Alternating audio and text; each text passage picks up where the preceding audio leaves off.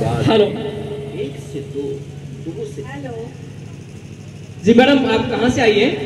जी मैं भंडारा से आई हूँ। भंडारा से? यहाँ तक? किस लिए मैडम?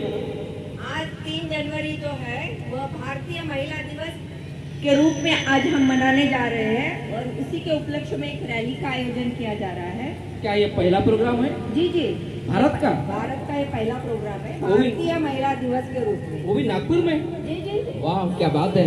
लेकिन आपके रैली में तो महिलाओं की संख्या बहुत कम दिख रही है।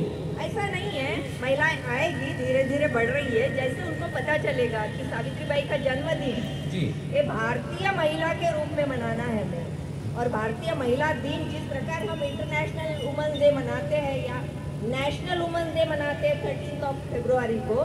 जी। तो तीन जनवरी ये भारतीय महिला दिवस क्यों नहीं हो सकता? हमें लगता है वो भारतीय महिला दिवस के रूप में मनाना चाहिए। जी बिल्कुल हो सकता है।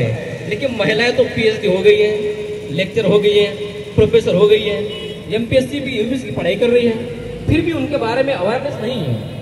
ऐसा नहीं है। अवेयरनेस करना कराना करना और कराना आप जैसे नागरिकों का भी कर्तव्य बनता है। जी बिल्कुल। और इसीलिए दोनों ने साथ मिलकर अगर प्रयास किया स्त्रियों में भी और पुरुषों में भी दोनों में भी अगर सार्थक प्रयास होता है इस दृष्टिकोण से तो हमें लगता है अगले साल आपको यही रैली पूरे नागपुर शहर में निकलती हुई दिखेगी।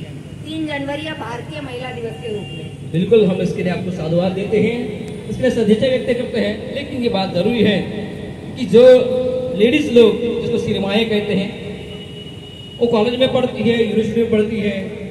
अभी भी यहाँ पढ़ रहे हैं लाइब्रेरी के एक स्क्वायर में खड़े हैं। तो क्या उनका कर्तव्य नहीं को आकर देखें इसे भी ये कौन सा प्रोग्राम है।